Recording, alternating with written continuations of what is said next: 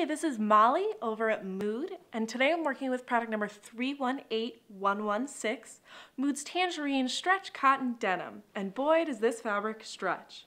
This product has a slightly arid, textured hand with some really good weft stretch, something you don't often get in denim, and it is mostly opaque. It has a nice stiff drape, and I would love to see this as a nice wrap top with some puffed sleeves and paired with some nice dark jeans.